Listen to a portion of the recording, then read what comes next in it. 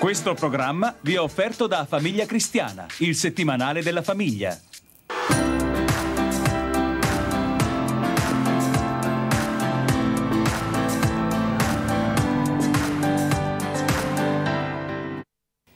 Buonasera, buonasera, benvenuti al nostro punto di luce, sempre con Don Roberto Ponti. Buonasera Don Roberto. Buonasera Adriana e bentrovati a tutti.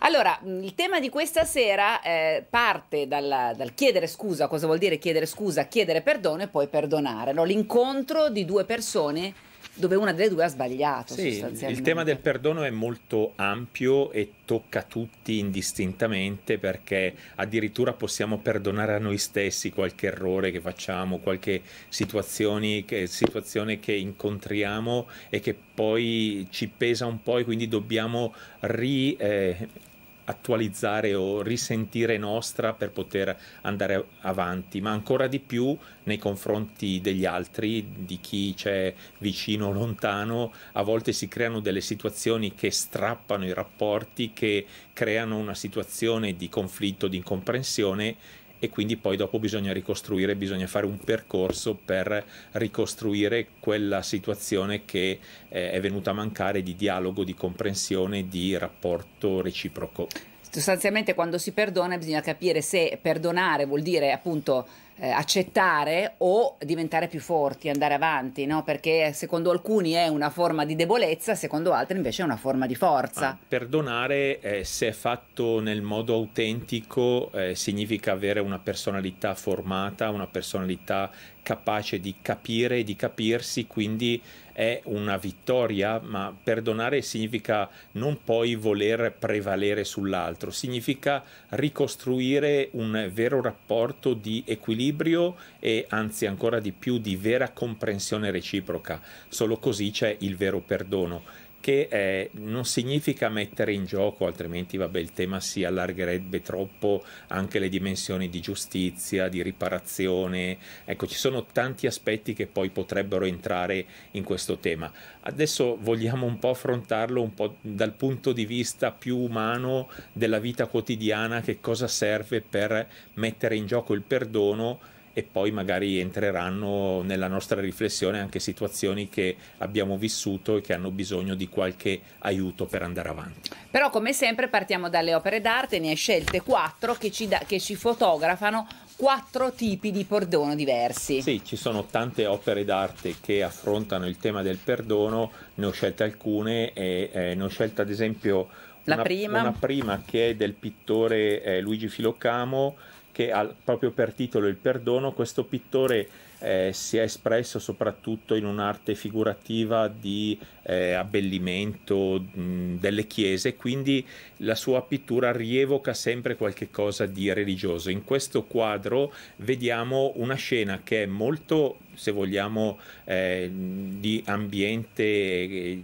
laico, così non, non è sì. eh, direttamente religioso, c'è, si vede un figlio eh, che è inchinato con il capo chino che non guarda negli occhi il padre, il padre invece ha le mani abbracciate e sembra accoglierlo, quindi sembra, anzi, esprime il perdono. Sembra un po' la parabola del figlio ecco, prodigo. Ecco, questo, diciamo, il fatto che il pittore Luigi Filocamo abbia eh, espresso tante opere d'arte con eh, un retroterra religioso evangelico, ecco, ci può far capire che magari dietro c'è la parabola del, mm, del padre misericordioso del figlio prodigo, quindi questo quadro che... Una visione è, laica della parabola, sì, diciamo così. del secolo, ha vinto anche dei premi perché proprio esprime bene questo senso del perdono, dell'accoglienza, del, di chi chiede il perdono e di chi lo offre. Ecco, ci sono queste due dimensioni e poi c'è anche un terzo che è, eh sì. è, lì presente, forse quello che fa anche un po' da intermediario, a volte serve anche questa figura. Sì, a volte non ci si riesce a incontrare no? tra due posizioni molto distanti, a volte serve anche l'intermediario.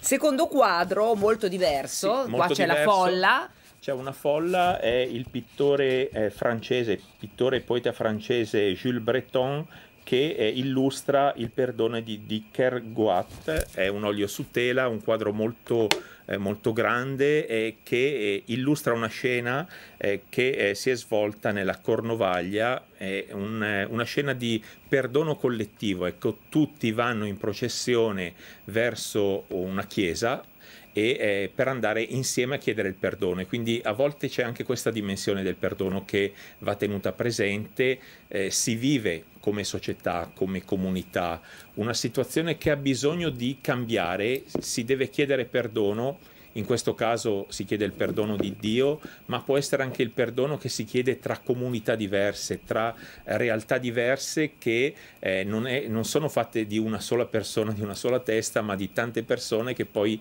insieme hanno bisogno di ritrovare un modo di comunicazione, una relazione, quindi riaprire il dialogo vero. Qui è fatto come una richiesta di perdono collettiva. Dio, una, una, richiesta di perdono collettiva. Sì, tutta la folla che chiede insieme il, il, perdono. Un terzo tipo di perdono è quello della confessione. Eh sì, qui, qui entriamo un po' nella tematica più eh, prettamente religiosa del perdono che fa parte proprio dell'esperienza di fede perché eh, è in gioco anche quello che è la, uh, il peccato, quindi l'allontanamento da un percorso mh, regolare e giusto che chiede poi di essere ricostruito. E in questo nella, nella, fede, nella, fede, cattolica c'è anche un sacramento che è come un secondo battesimo che è la possibilità di ricostruire quel dialogo pieno con il Signore che inizia nel battesimo e questo sacramento lo sappiamo si chiama la riconciliazione, il perdono e, e quindi eh, questo quadro lo illustra bene, ha dei particolari molto interessanti con questa donna che si avvicina al confessionale per fare la sua confessione, chiedere il perdono mh, mm, e poi c'è questo intermediario che è il sacerdote che dà il perdono in nome di Dio. Sì, e quindi è un momento molto intimo quello del confessionale, il rapporto tra la, la donna e il sacerdote che rappresenta, che rappresenta Dio. Te, quarto tipo di perdono? E qui andiamo invece nella eh, Questa è arte moderna, contemporanea, contemporanea. Siamo, eh, con la, l'autore che è Rick Penn, Riccardo Penati e la tavola si intitola proprio Perdono e capiamo di che cosa si tratta. Vediamo una donna con una lacrima sul volto e questa rosa che è un po' anche qui eh, il mezzo che serve per ricostruire ciò che è venuto meno e quindi chiedere perdono anche tramite il mezzo di un dono o comunque un segno che rappresenti quello che si vuole ricostruire. Ecco, a volte nelle, nel rapporto con le persone esageriamo con le parole, con i gesti sì. o anche con nelle liti. Qua, qua, questa è una questione probabilmente domestica, eh no? sì. rappresenta no? Sembra, un marito, un fidanzato, quello. sembra quello. E la rosa, il fiore, è il mezzo per dire guarda voglio ricostruire quello che è venuto meno e quindi chiedere perdono anche tramite un gesto molto espressivo. Eh sì, perché a volte è anche molto, eh, non so se è più difficile portare la rosa in quel caso usando queste immagini, quindi chiedere perdono o accettarlo e quindi la, la donna che piange. Sì, no? nel, sono due ruoli molto difficili. Nel perdono eh, ci sono i due movimenti, è evidente. C'è chi sì. deve proporsi e fare il passo per dire chiedo perdono, c'è chi deve concederlo questo perdono e quindi ricostruire forse eh, quegli aspetti che sono venuti meno a causa del eh, della situazione di tensione o di lite che ha creato una rottura. Ecco, sappiamo che questo è molto importante, il rapporto tra le persone a volte è molto delicato e bastano pochi gesti, poche parole per rovinare un rapporto che magari era anche consolidato, era una bella amicizia. Quindi mh, dobbiamo misurare bene le parole da una parte, quindi evitare... Che a volte, a volte si fa fatica no? durante e, le E anche i gesti, però ecco, al di là di questo bisogna avere anche il coraggio, la forza e anche la capacità di chiedere il perdono e di eh, lasciare che questo perdono possa entrare nella nostra vita. Non possiamo a volte mettere un muro, un muro così rigido che non permette più di ricominciare. Eh, io avevo visto il Papa in un'intervista in cui diceva solo una volta non ho perdonato una persona perché ho capito che non era sincero. Eh, che le scuse non erano sincere. La sincerità è uno delle, diciamo, degli ingredienti, degli aspetti che deve essere messo in gioco. Eh Ovviamente sì. se si presentano delle scuse soltanto formali, allora non si può... E, e la persona lo capisce, è chiaro che non ti perdonerà. Non si può dire che c'è un vero perdono, magari formalmente si ricostruiscono queste relazioni, ma poi intimamente c'è ancora separazione. Ecco, allora l'autenticità del perdono è ciò che deve essere ricercato. Allora adesso ascoltiamo il padre Francescano Matteo della Torre che eh, rappresenta, no, ci spiega bene il tema del perdono in tutte le sue sfaccettature. Eh sì, e va molto in profondità su aspetti che sono molto interessanti. Vediamo.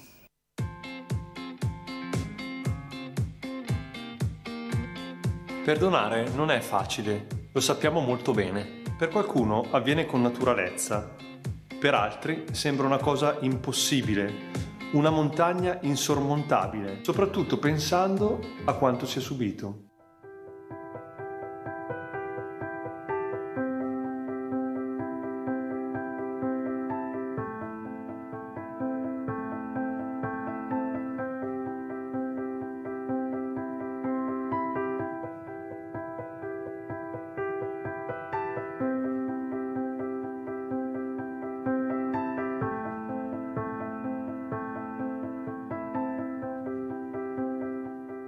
Il male ferisce e segna in profondità la nostra umanità. Nonostante questo, credo che in tutti sia chiara questa percezione, che se noi riuscissimo a perdonare, vivremmo più serenamente e in pace.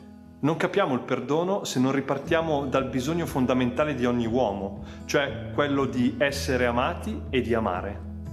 La svolta nella vita non è aggiustare tutto, anche perché molte cose sai bene che non si possono aggiustare e non dobbiamo neanche pensare di pareggiare i conti. Non si può vivere con il senso di colpa di non aver amato o di aver amato male o di non essere stati amabili. La svolta nella vita è quella grande decisione che si svolge nel presente, che con coraggio e fiducia ci fa scegliere di rimetterci nel cammino dell'amore, da adesso. Prova a chiederti che cosa ne vuoi fare della tua vita e non aspettare la situazione ottimale, quella migliore, quella che risponde alle aspettative che spesso appiccichiamo proprio alla nostra esistenza. La vita non è bella e dalle vertigini per ciò che accade esternamente, ma è preziosa nella misura in cui ami ciò che hai, fosse anche un dettaglio piccino. Tutto cambia non quando salvi la faccia, ma quando ami profondamente quello che sei. Nonostante tu non sia perfetto, ma sappi che sei unico. La prima cosa che dovremmo amare riguarda proprio noi stessi, i nostri limiti, le nostre fragilità. Perché se ci pensi, più giudichi te stesso in modo negativo e più diventi intransigente nei confronti degli altri. Accettare la propria storia è capire che l'amore ha a che fare con tutto e tutto può trasformare. È come stringersi in un abbraccio. Il perdono è donare qualcosa di nuovo agli altri, qualcosa di importante, L'odio, il risentimento, la rabbia non servono a nessuno perché generano soltanto altro odio e altro rancore. Perdonare è offrire la propria storia e mostrare che con l'amore si può fare tanto. Puoi diventare un testimone prezioso per chi? Per i tuoi figli, per i tuoi amici, per i tuoi colleghi. Perdonare non significa subire senza reagire, perché il male fa proprio male. Perdonare non è un atto di debolezza, e di rinuncia dei propri valori. Il perdono profondo, autentico, presuppone coraggio e una grande forza interiore. Perdonare non può essere solo un dovere religioso. Non basta dire perdono perché devo farlo, perdono perché me lo chiede Dio. Certo che Dio ci chiede di perdonare, ma ci chiede di farlo perché Lui desidera che viviamo in pienezza, che viviamo una vita autentica, luminosa, solare, bella. Il perdono ci restituisce a noi stessi e agli altri, mostrandoci la bellezza che siamo. Eh, secondo me la, la, cosa che posso dirti la cosa che mi ha colpito di più, me la sono anche scritta, è quando dice bisogna imparare ad amare ciò che si è e quindi coi propri limiti, perché solo così puoi accettare anche i limiti degli altri. Sì, è il passaggio dell'autenticità su noi stessi, della conoscenza di noi stessi e del realismo su noi stessi che ci permette di aprirci agli altri in modo autentico e quindi di vivere la gioia del perdono, altrimenti se sentiamo questo come uno sforzo che ci sì. toglie qualcosa, che non ci lascia più eh, in pace con noi stessi, diventa inautentico e eh, diventa una difficoltà da vivere che invece abbiamo capito il perdono è legato all'amore. Se questi due aspetti così importanti della vita vanno insieme, allora diventano autentici e si possono eh, costruire insieme, costruire un percorso che permette anche di vivere bene con se stessi e con gli altri. Esatto, quindi bisogna uscire dalla propria intransigenza, no? dal proprio isolamento per accettare. Bisogna conoscersi, e accettare bisogna i limiti. conoscersi nei propri limiti e nelle Eh sì. proprie capacità e questo permette di vivere bene anche il perdono. Ecco, tu parlavi prima, eh, non bisogna mai esagerare con le parole, eccetera. Adesso vediamo qualche consiglio da questo punto di Sì. vista sull'importanza delle parole. Questo diciamo è un consiglio meno teologico, meno psicologico e più pratico. A volte servono le parole giuste e questa youtuber che si chiama Fiorella Zori eh, ci aiuta a an- analizzare un po' le forme eh, delle parole che si usano quando bisogna chiedere perdono. Vediamo. Ciao a tutti ragazzi e benvenuti in questo nuovo video disgrammaticando finalmente. Per molte persone non è una cosa semplice chiedere scusa, ma non perché non conoscono le frasi da utilizzare, eh? bensì perché questa incapacità fa proprio parte del loro carattere. Eppure ci capitano spesso, proprio perché siamo umani e sbagliamo, situazioni in cui dobbiamo scusarci per qualcosa che abbiamo fatto o abbiamo detto nei confronti di qualcuno, ad esempio. Situazioni in cui abbiamo avuto torto. In fondo non è affatto semplice ammettere di aver sbagliato, però ricordatevi che chiedere scusa è una cosa molto importante e anche molto bella. Al di là della psicologia e della filosofia, se tu che studi l'italiano non sei capace di chiedere scusa perché non conosci abbastanza espressioni per farlo, continua a guardare questo video perché ti presenterò 10 modi per chiedere scusa. Partiamo da quello più semplice. Scusami. E poi ancora perdonami. Mi dispiace o mi dispiace tanto. Sono mortificato o mortificata. Sono desolato o desolata, che ricorda molto il francese je suis désolé. Io lo trovo molto, molto elegante questo modo di chiedere scusa. Chiedo venia, ti chiedo scusa, non volevo ferirti, non era mia intenzione farti rimanere male, mi spiace, ero arrabbiato e mi sono comportato da stupido, spero tanto che mi perdonerai. Notare la recitazione esemplare che mm, vi ho mostrato. Scherzi a parte, le espressioni per chiedere scusa sono veramente tantissime, sono numerose. Quelle che vi ho presentato io si possono addirittura combinare in vari modi tra loro, quindi non esistono espressioni più giuste o espressioni più sbagliate, a meno che non ci riferiamo magari a un contesto particolare in cui menzioniamo magari anche l'errore che abbiamo fatto. Ad esempio, scusami, non volevo risponderti male, scusami, non volevo dirti quelle brutte cose, eccetera, eccetera. E poi quello che conta è il tono, no? Eh Sì, c'è tutto l'insieme della comunicazione tra due persone che è fatto sia di parole che di gesti che di modalità espressiva, quindi si parla con le, o meglio, si comunica con le parole, ma anche con tutto quello che siamo, il tono della voce, la postura del corpo, i gesti delle mani, tutto eh, fa comunicazione, quindi se vogliamo perdonare dobbiamo sentirlo dentro, in questo modo comunicheremo bene il perdono. Se non siamo pronti per perdonare, se dentro non siamo ancora a posto per vivere e dare il perdono, allora forse comunicheremo qualcosa di non troppo chiaro. Esatto. Adesso ci fermiamo qualche istante, la linea va alla regia e poi consigli di lettura. Tra poco. Rieccoci, vediamo adesso qualche consiglio di lettura sempre sull'arte del perdono. Sì, c'è un libro che è edito dalle edizioni San Paolo che ha per autori dei membri della penitenziaria apostolica che ha per titolo Ti sono perdonati i peccati, celebrare il sacramento della confessione e della riconciliazione oggi e tratta proprio del tema del perdono. Ecco, c'è questa, eh, questo dicastero, questa realtà molto antica della Chiesa che è eh, a Roma e aiuta il Papa a eh, dare il perdono anche in quelle situazioni tutte particolari per cui non basta nemmeno andare da un confessore ma eh, ci si vuole rivolgere all'autorità superiore addirittura al Papa per rimettere a posto la propria situazione con il Signore e quindi cercare di vivere nella pace e ricevere il perdono che si vuole proprio gustare in pienezza. Ci sono delle normative anche canoniche che portano avanti proprio questo tipo di discorso, forse non tutti entrano in questi dettagli, ma è bene conoscerli perché a volte per alcune persone sono importanti proprio per ristabilire quella condizione e vivere bene la propria fede. E abbiamo proprio un video del un cardinale video Mauro Piacenza. Ho incontrato il cardinale Mauro Piacenza che è il penitenziario maggiore, quello che proprio risponde a chi si rivolge alla Santa Sede per chiedere il perdono di alcuni peccati specifici, lui ci ha dato alcuni consigli anche rispetto alla confessione. Vediamo. Cosa lei consiglia a chi è da tanto tempo che non va a confessarsi a, a fare questo passo? Sì, io capisco questo imbarazzo effettivamente.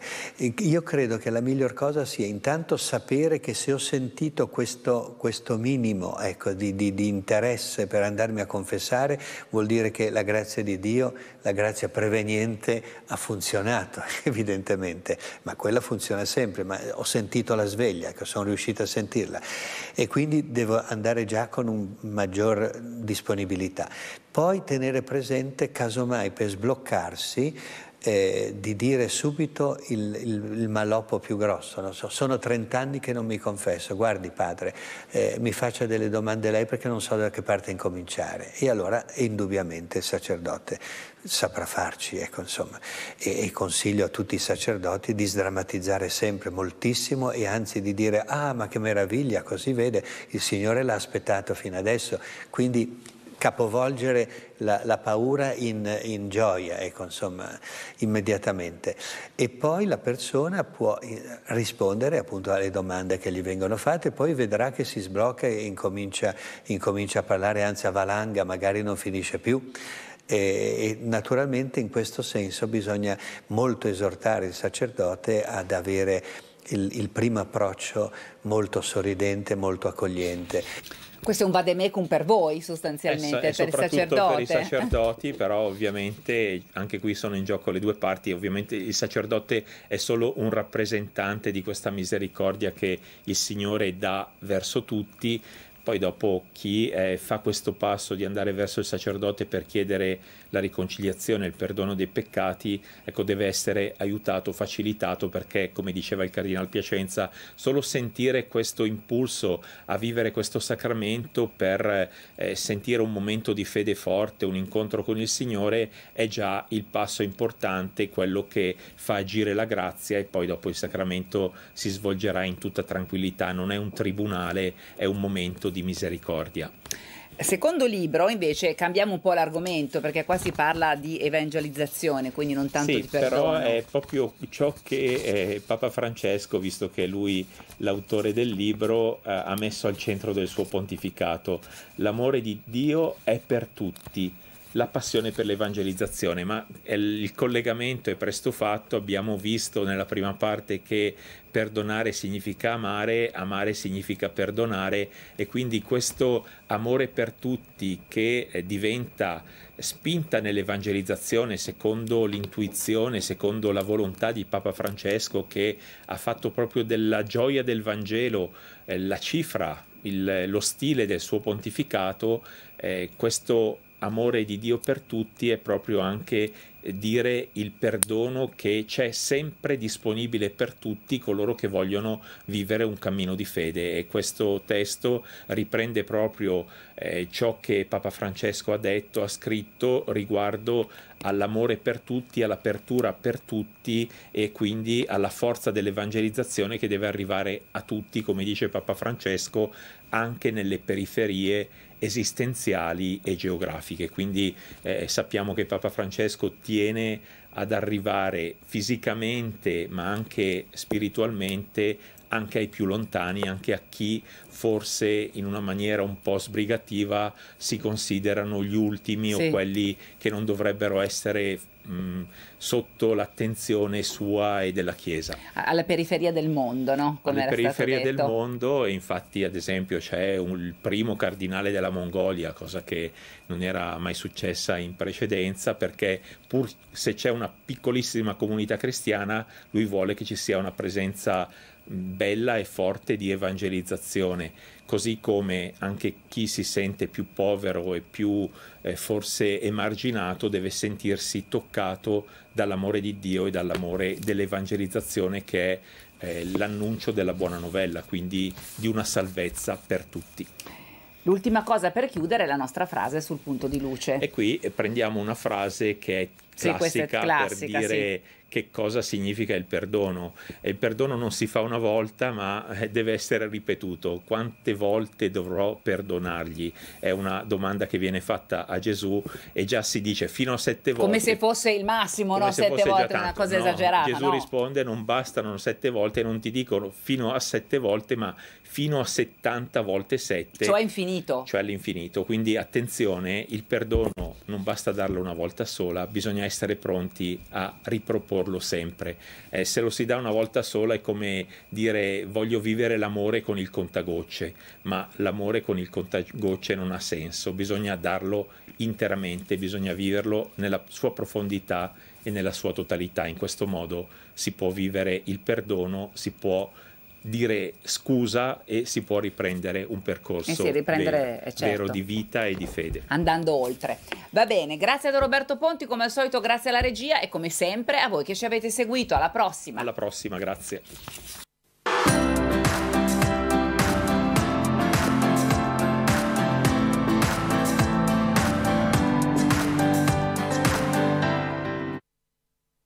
Questo programma vi è stato offerto da Famiglia Cristiana, il settimanale della famiglia.